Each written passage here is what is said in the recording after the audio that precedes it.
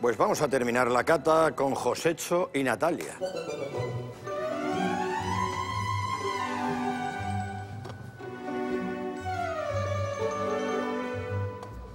Josecho, ¿me puedes decir cómo se llama eso?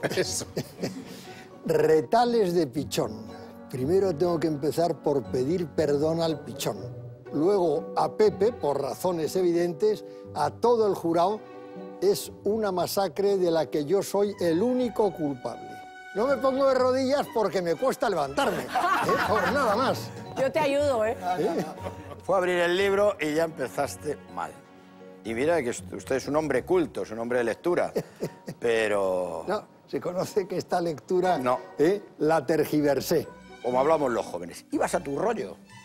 Totalmente Pero de a acuerdo. tu rollo con Vamos. dos narices. Ha habido un momento que yo estaba diciendo, está haciendo cocochas. Decía, decía Jordi, no, no, ya, yo creo que son hamburguesas. Y luego ya encima casi cuando le has dado una forma y lo vas a meter al horno, se te cae. Sí. Es que hay que tener mala suerte hasta para eso. Menos mal que dejó los cordeles ahí, ¿eh? Sois tremendamente benévolos y os lo agradezco. Eh, ¿Qué hacemos? ¿Lo probamos? ¿Le Espantoso. atamos otra vez? Yo ¿Qué no os hacemos? lo Va- aconsejo. Vamos a atar, pero a Josecho. Vamos a concederle el beneficio de la duda. ¿Queréis la parte más tostada? ¿La queréis con hilo dental o la queréis...? Madre mía. Oh, mamá mía.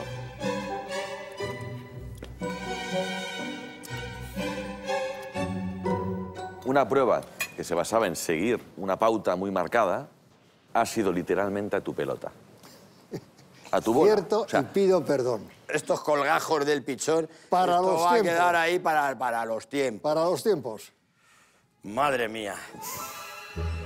Hoy tengo que aceptar la crítica de Pepe y bastante benévolo ha sido conmigo.